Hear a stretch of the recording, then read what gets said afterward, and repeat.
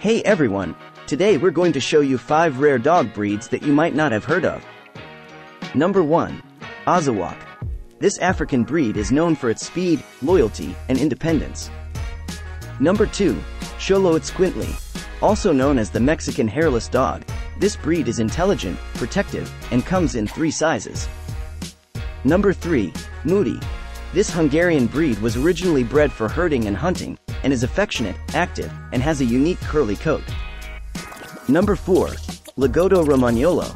This Italian breed was bred for hunting truffles and is hypoallergenic, loyal, and easy to train.